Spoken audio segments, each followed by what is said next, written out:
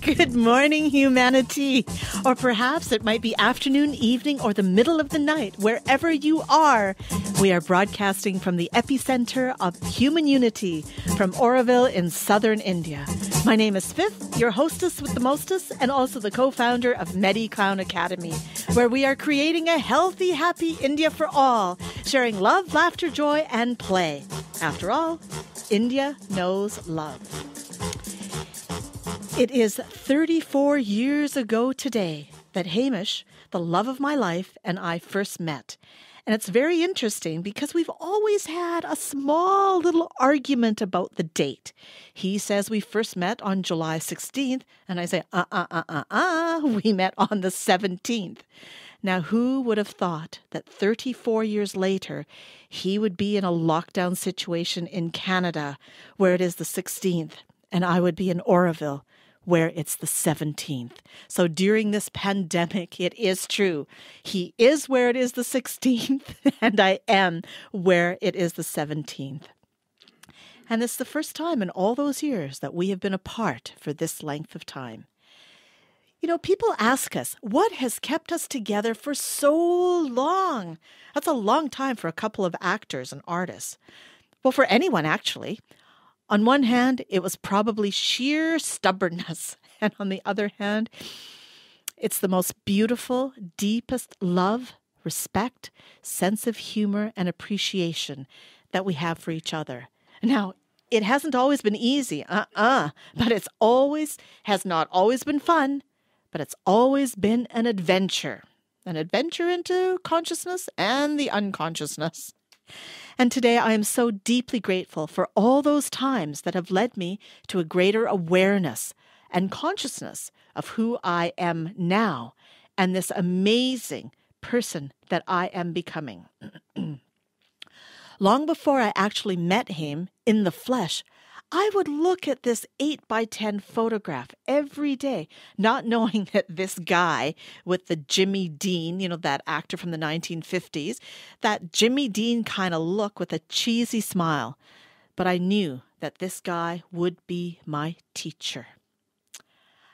I had come back to Edmonton. I was living in Vancouver at the time. I'd come back to Edmonton in Canada to do a reshoot of an Indian film that I was starring in. After the filming, my best friend begged me to stage manage her show at the Edmonton Fringe Festival. I said, Yeah, yeah, yeah, fine, sure. If you help me find a place to live, I'll do it. Well, there was a room available in this house where many actors over the years had stayed.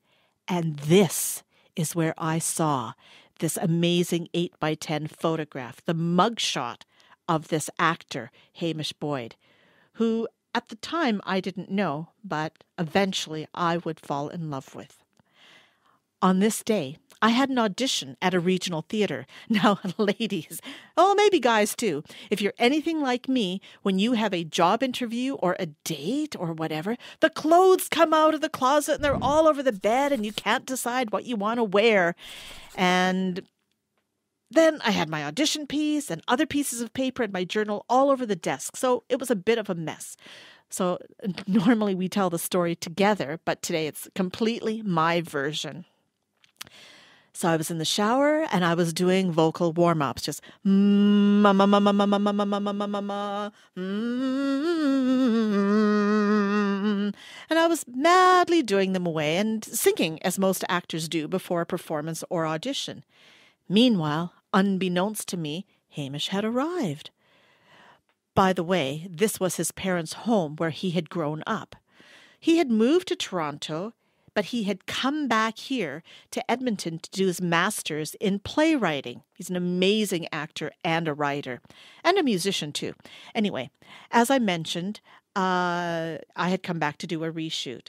So as I was in the shower doing my vocals, he was bringing down his first load of books. then he turned into his bedroom and he noticed it was full of clothes. And he shrugged and he turned and went into the other bedroom, which was one of his sister's bedrooms. Then he went up to get another box of books. Meanwhile, I had finished my shower and my vocals. And with a towel wrapped around my head and another one around my body, I opened the bathroom door just at that moment, Hamish was standing there right in front of the door, looking at me. I screamed, Ah! and dropped my towel. And Hamish screamed and dropped his box of books at his feet. And that's how we first met. And we have been roommates, friends, and lovers. And then after that, 11 years after that, a married couple. As I said in the beginning, it hasn't always been easy, but I am so blessed to be in this beautiful, amazing relationship that's filled with funness, adventure, laughter, creativity, respect, appreciation, and a very, very, very deep love.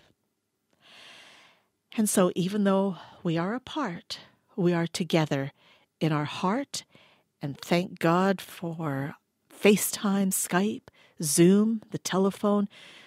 We are together and we can see each other. So, even though it makes me very sad, I can still feel the love that comes through from these waves. So um, please tell us your stories. Please share with us your comments of how you met your partner, husband, the person of your dreams, or maybe how you're going to meet the person of your dreams and how you keep your love alive. You're going to hear a little more about what Hamish and I do to keep our love alive. We do a lot of laughing, but we'd love to hear from you. So until next time, we invite you to laugh, love your life. It makes it a whole lot easier to live in a life that you love, and especially when you love yourself. See you next week.